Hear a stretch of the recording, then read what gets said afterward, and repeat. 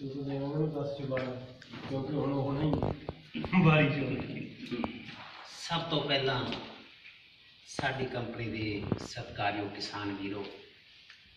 ਸਾਡੀ ਸੁਮਿਲ ਕੈਮੀਕਲ ਬੋਂਬੇ ਦੀ ਜੋ Indian multinational company ਹੈ ਤੁਹਾਡੇ ਇੱਥੇ ਪਹੁੰਚਣ ਤੇ ਬਹੁਤ ਜ਼ਿਆਦਾ ਸਵਾਗਤ ਕਰਦੀ ਹੈ ਕਿ ਇੰਨੇ ਕੰਮ ਹੋਣ ਦੇ ਬਾਵਜੂਦ ਤੁਸੀਂ ਸਾਡੇ ਵਿਚਾਰ ਸੁਣਨ ਵਾਸਤੇ ਤੇ ਪਹੁੰਚੇ ਮੈਂ ਵੀਰੋ ਤੁਹਾਡੇ ਨਾਲ 12 13 ਮਿੰਟ ਦਾ ਟਾਈਮ ਲਵਾਂਗਾ। ਹਰੇਕ ਕਿਸਾਨ ਦੀ ਬੇਨਤੀ ਹੈ ਤੇ ਥੋੜੀ ਗੱਲ ਨੂੰ ਧਿਆਨ ਨਾਲ ਸੁਣਿਓ ਕਿਉਂਕਿ ਆਪਣੀ ਦਵਾਈਆਂ ਤੇ ਖਾਦਾਂ ਇੰਨੀਆਂ ਮਹਿੰਗੀਆਂ ਹੋਣ ਦੇ ਬਾਵਜੂਦ ਅਗਰ ਆਪਣੀ ਫਸਲ ਦੇ ਵਿੱਚ ਵਰਤੋਂ ਦਾ ਤਰੀਕਾ ਥੋੜਾ ਜਿਹਾ ਗਲਤ ਹੋ ਜਾਏ, ਤੇ ਸਹੀ ਮਾਇਨੇ ਦੀ ਫਸਲ ਨੂੰ ਉਨਾ ਫਾਇਦਾ ਨਹੀਂ ਹੁੰਦਾ ਜਿੰਨਾ ਫਾਇਦਾ ਹੋਣਾ ਚਾਹੀਦਾ ਹੈ। ਮੈਂ ਆਪਣਾ ਇੰਟਰੋਡਕਸ਼ਨ ਦੇ ਦਿਆਂ। ਮੇਰਾ ਨਾਮ Lekh Rai Bhiana development manager north head Haryana Punjab Rajasthan Himachal ਮੇਰੇ ਕੋਲ ਚਾਰ ਸਟੇਟ ਹੈ ਔਰ 2001 ਤੋਂ ਲੈ ਕੇ 2007 ਤੱਕ ਮੈਂ ਜਲੰਧਰ ਦੂਰਦਰਸ਼ਨ ਤੇ ਟੈਲੀਵਿਜ਼ਨ ਦੇ ਬਾਰੇ ਕਾਫੀ ਪ੍ਰੋਗਰਾਮ ਦਿੰਦਾ ਰਿਹਾ ਸੋ ਕਿਸੇ ਵੀਰ ਨੇ ਵੀ ਕੋਈ ਵੀ ਗੱਲ ਕਿਸੇ ਤਰੀਕੇ ਦੀ ਪੁੱਛਣੀ ਹੈ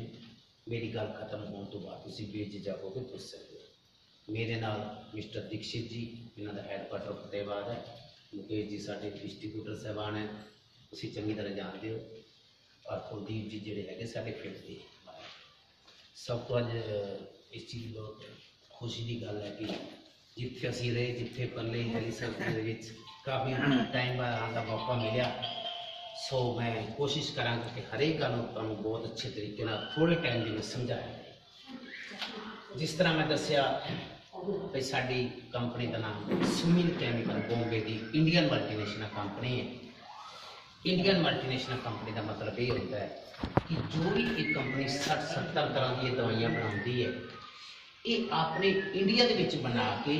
ਇੰਡੀਆ ਦੇ ਬਾਹਰਲੇ 85 ਤੋਂ ਵੱਧ ਦੇਸ਼ਾਂ ਦੇ ਵਿੱਚ ਕੰਪਨੀ ਦਵਾਈਆਂ ਵੇਚਦੀ ਹੈ। ਬਾਹਰ ਕੰਪਨੀ ਦਵਾਈਆਂ ਕੋਈ ਵੇਚ ਸਕਦੀ ਹੈ, ਜਿੰਦੀ ਚੀਜ਼ ਵਧੀਆ ਕੁਆਲਿਟੀ ਵਧੀਆ ਹੈ, ਹਰੇਕ ਕੰਪਨੀ ਵਾਲੇ ਆਪਣੇ ਬਾਹਰਲੇ ਦੇਸ਼ਾਂ ਦੇ ਵਿੱਚ ਦਵਾਈਆਂ ਨਹੀਂ ਵੇਚ ਸਕਦੇ।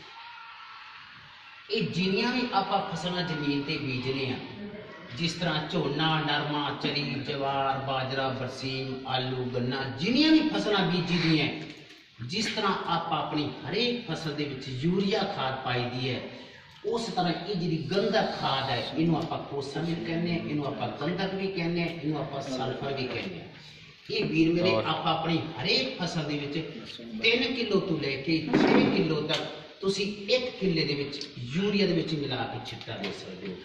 ਝੋਨੇ ਦੇ ਵਿੱਚ 3 ਕਿਲੋ ਕਿੱਲੇ ਦੀ ਸਾਨਾ ਪੈਂਦੀ, ਨਰਮੇ ਦੇ ਵਿੱਚ 6 ਕਿਲੋ ਪੈਂਦੀ, ਕਿਉਂਕਿ ਨਰਮੇ ਦੀ ਫਸਲ ਭਾਰੀ ਹੁੰਦੀ ਹੈ।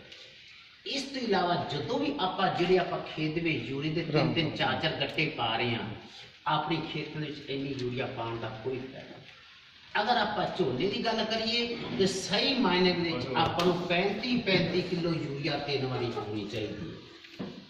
ਜਿੰਨੀ ਵੀ ਖੇਤ ਦੇ ਵਿੱਚ ਯੂਰੀਆ ਪਾਈਦੀ ਹੈ, ਉਹਦੇ ਵਿੱਚੋਂ ਦੋ ਹਿੱਸੇ ਬੂਟਾ ਯੂਰੀਆ ਲੈਂਦਾ ਹੈ ਬਾਕੀ ਤੀਜਾ ਹਿੱਸਾ ਯੂਰੀਆ ਕੋਈ ਹਵਾ ਦੇ ਵਿੱਚ ਉੱਡ ਕੇ ਚਲੀ ਜਾਂਦੀ, ਕੋਈ ਜ਼ਮੀਨ ਦੇ ਵਿੱਚ ਰਿਸ ਕੇ ਪਾਣੀ ਨਾਲ ਥੱਲੇ ਚਲੀ ਜਾਂਦੀ। ਅਗਰ ਆਪਾਂ ਝੋਨੇ ਦੀ ਗੱਲ ਕਰੀਏ, ਝੋਨੇ ਦੇ ਵਿੱਚ ਆਪਾਂ ਨੂੰ 35 35 ਕਿਲੋ ਯੂਰੀਆ ਤਿੰਨ ਵਾਰੀ ਪਾਉਣੀ ਚਾਹੀਦੀ ਹੈ। ਪਹਿਲੀ 35 ਕਿਲੋ ਯੂਰੀਆ ਲਓ, ਉਹਦੇ ਵਿੱਚ ਪਹਿਲੇ ਇੱਕ ਗਿਲਾਸ ਪਾਣੀ ਦਾ ਵਿੱਚ ਮਿਲਾ ਕੇ ਯੂਰੀਆ ਨੂੰ ਸਲਾਪਾ ਕਰ ਲਓ, ਚੰਗੀ ਤਰ੍ਹਾਂ। ਫਿਰ ਜਿਹੜੀ ਇਹ ਝੋਨੇ ਵਾਸਤੇ ਇੱਕ ਕਿੱਲੇ ਦੀ ਥੈਲੀ ਹੈ, ਉਸ ਦੇ ਵਿੱਚ ਮਿਲਾ ਕੇ, ਯੂਰੀਆ ਦੇ ਵਿੱਚ ਮਿਲਾ ਕੇ ਤੁਸੀਂ ਖੇਤ ਦੇ ਵਿੱਚ ਛਿੱਟਾ ਦੇ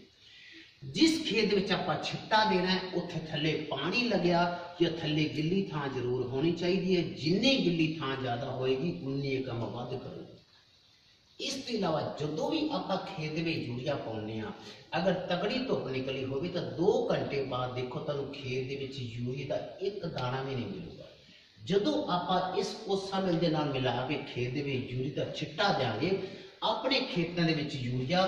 ਘੱਟ ਤੋਂ ਘੱਟ 10-12 ਦਿਨ ਤੱਕ ਪਈ ਰਹੂਗੀ ਹੌਲੇ ਹੌਲੇ ਉਨੀ ਛੱਡੂਗੀ ਜਿੰਨੀ ਕਿ ਬੂਟੇ ਬੰਦੇ ਵੀ ਆਣੇ ਚਾਹੀਦੇ।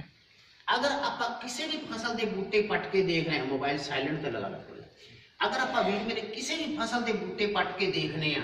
ਆ ਜਿਹੜੀ ਤੁਹਾਨੂੰ ਕੈਰੀ ਕੈਰੀ ਜੜਾਂ ਦਿਖ ਰਹੀਆਂ ਇਹ ਕੀ ਕਰਦੀ ਹੈ ਇਹ ਕੱਲਾ ਬੂਟੇ ਨੂੰ ਖੜਾ ਰੱਖਦੀ